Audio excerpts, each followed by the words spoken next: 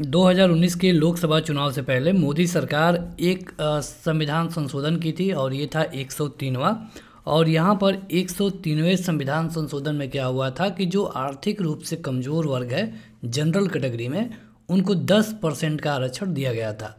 अब इस आरक्षण को लेकर के, इस पूरे संवैधानिक संशोधन को लेकर के सुप्रीम कोर्ट में इसे चैलेंज किया गया और अगर यहाँ पे सुप्रीम कोर्ट इसे रद्द कर देती तो इसे रद्द मान लिया जाता।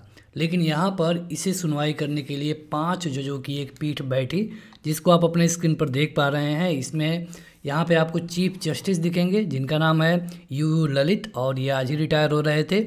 Justice Dinesh Maheshwari, justice S Ravindra Bhat, justice Bela M Trivedi और जे बी पादरीवाला। तो इस पाँच लोगों में से तीन लोगों ने ये माना है कि जो 10 परसेंट का आरक्षण दिया गया था, वो बिल्कुल सही है। हालाँकि दो लोगों ने ये कहा है कि जो दस परसेंट का आरक्षण दिया गया था, वो बिल्कुल गलत है, वो संविधान का उल्लंघन करता है।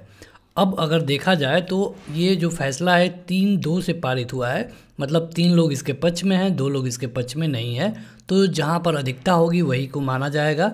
यानी कि अब जो ई डब्ल्यू एस कोटा है, दस परसेंट वाला ये लागू रहेगा, इसमें कोई भी बाधा नहीं है, क्योंकि सुप्रीम कोर्ट में पाँच जजों की पीठ बैठ करके ये फैसला दे चुकी है।